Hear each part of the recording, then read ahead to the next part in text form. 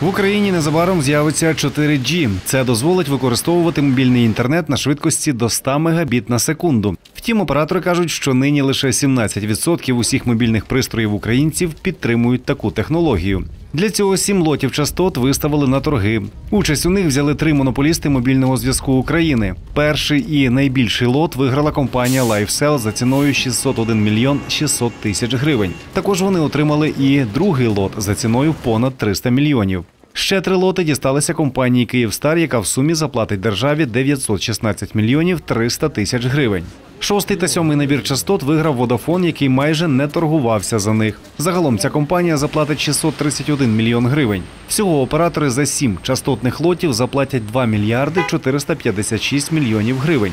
На переведення коштів у них є один місяць. Лише після цього їм нададуть ліцензії, які діятимуть 15 років. Після їх отримання в операторів буде один рік на запуск четвертого покоління зв'язку у великих містах. Однак оператори обіцяють запустити технологію для усіх вже в березні цього року. Ще один набір частот у коротшому діапазоні 1800 МГц планують продати на торгах у березні цього року. Він є цікавішим для операторів, адже дозволяє ставити менше базових станцій на більшій площі.